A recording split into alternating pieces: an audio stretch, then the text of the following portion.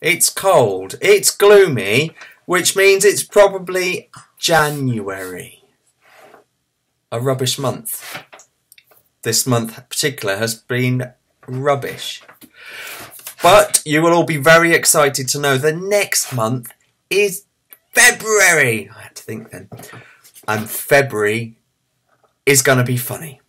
I can just promise you that from the bottom of my heart. Life is going to get much, much better as soon as the month goes into the next one.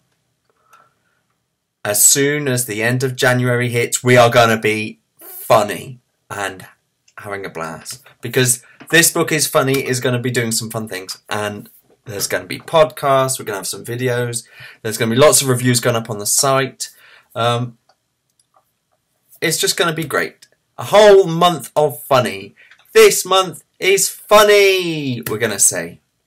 So, from Alex, over and out. See you in February where we're going to have a great time. Better than January.